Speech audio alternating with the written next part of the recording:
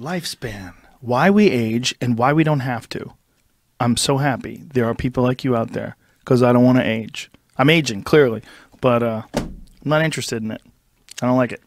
Yeah, well, I don't know anybody who does. Anyway, the guy there, uh, Steve Horvath is his name. Uh, he and I and a couple of other guys are trying to figure out uh, not just why we age, why we don't have to, but is aging uh, truly reversible? And that's what this study suggests: is that it's not just about slowing down aging, but one day we could be 80, but biologically 30. Uh, we we believe we understand how to slow aging. Uh, there are genes that predispose you to, to long life. And so we now know that there's a set of genes called reprogramming factors, also known as Yamanaka factors, that are from named after this Japanese fellow who won the Nobel Prize in 2012. These factors are used to reprogram skin cells, other cells to be what we call pluripotent stem cells. These are cells that can be used to make new organs or new blood cells. Mm. But what people hadn't tried until recently was can you do this in a living animal? Or are you just going to mess it up. Uh, and what we found out is that uh, if you do it the wrong way, you mess up the animal and it'll die. But what we've shown for the first time in this paper is you can do it in a safe way. And not only that, reverse the clock, make the cells young, and restore how they work. So you might have a whole full cycle from like uh, 20 or 10 to 40 years old again. That's the future. That you'll get a delivery of this virus, You'll take the antibiotic for a few weeks, be fully rejuvenated, and the doctor says come back in a couple of decades. Well, we're literally reversing uh, not just the effects of aging, but aging itself. My guest is Dr. David Sinclair, a professor in the Department of Genetics at Harvard Medical School, where he researches and tries to understand the biological mechanisms that regulate the aging process and how to slow them. I can't think of a more interesting question than understanding the biological mechanisms that regulate aging and how to slow it. I'm very interested in, in it myself for sure. Uh, well, I've been studying this, uh, as you know, for over 30 years now. And when we first started out, we knew nothing. And then we went to little yeast cells, and then we worked our way up to worms and mice. And now, myself and uh, probably a couple of dozen other researchers around the world have broken through a barrier of understanding about why we age and how we can actually reverse it. Why do we age? How do we age?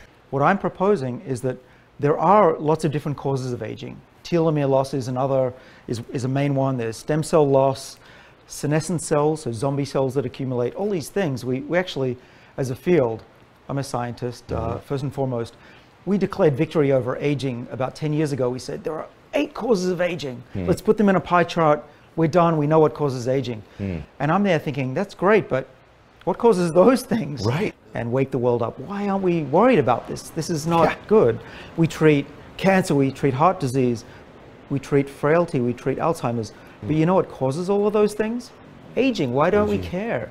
Mm. The field is exploding. Yes. So I agree with you that longevity research is going to make the iPhone look like old news. I do too. So my goal is really to, first of all, understand why do we age? Uh, how do we slow it down? Is it reversible? And can we keep the whole body younger? And I believe we can. And that's what I'm going to tell you about tonight. Aging is just as natural as cancer and heart disease and Alzheimer's. Why are you focusing on all those things that kill you while ignoring all the things that cause those things in the first place? So my argument is, why are we focusing on what causes us to fall off the cliff without even talking about, let alone working on in a big way, what drives us, us to that edge of the cliff in the first place. And cancer in general is a great pursuit to, to solve cancer. Um, but we spend, I think it's about $5 billion a year just on research alone on cancer. But cancer is only part of the story. If you smoke, like my mother did, your chance of getting cancer, lung cancer, goes up by about fivefold, which is really bad, right? So we try not to smoke and there's big government campaigns to try and prevent it. But if you go from 20 to 70, your chances of getting lung cancer go up by 500 fold, and nobody's even talking about it. So, what's the major killer? It's aging. So, my goal with my research at Harvard Medical School, which I've been doing at Harvard for 20 years and five years over the road at MIT, um, is to figure out why do we age Does anyone, anyone have a clue why we age? Does anyone really? And do any of you think about it? Probably not, right? Because even doctors who treat aging, the gerontologists, they don't think about it either. It's as though we're, we're we've evolved to not even think about it. Like, what do you think are the most important things that people should be doing or looking after on a daily basis to kind of, you know, take out an insurance policy against aging, given the current state of knowledge and understanding? I think the most important thing for anybody to live healthier for longer, if there was just one thing I could say, it would be eat less often. Don't eat three meals a day. I mean, you don't want malnutrition or starvation, of course, but putting the body in a state of want every day um, for as long as you can do it. I do it, you know, like I said, hopefully till late afternoon dinner. That's the easiest and best thing you can do. Mm-hmm. Other things are the high intensity interval training or jumping up and down with weights in a swimming pool. But but honestly, we now know we all have the the power with the scientific basis to actually live a, at least 15 years longer. That there are there are five things that are pretty obvious and easy to do uh, that'll give you 15 years. Things like you know exercise, the fasting, don't eat too much, eat the right foods, try to be uh, plant based, uh, get sleep, have social network.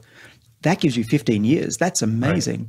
Right. Um, all right, so fasting, trying to uh, create some hormesis in your life, uh, basically living a blue zones lifestyle.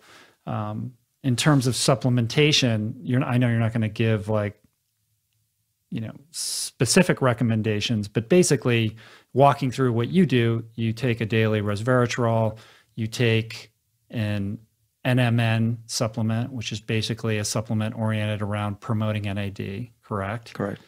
Uh, I, I take NMN because A, I have a ready supply because we're doing clinical trials, but also uh, because I've studied it the most. Mm-hmm.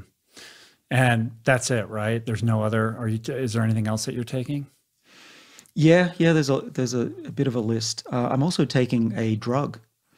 Ooh, a drug, right?